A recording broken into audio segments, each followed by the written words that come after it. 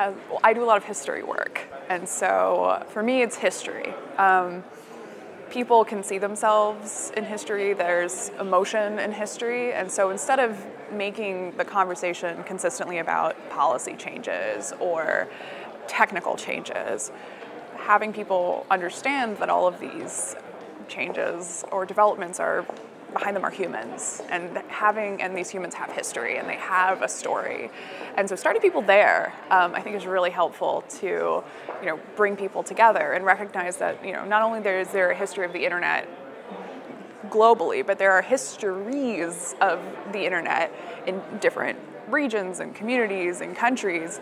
And when people know that, they have this connection. And I think that that way people are more happy to step up and be a lot more cooperative when they think that they have a stake historically in something bigger than them.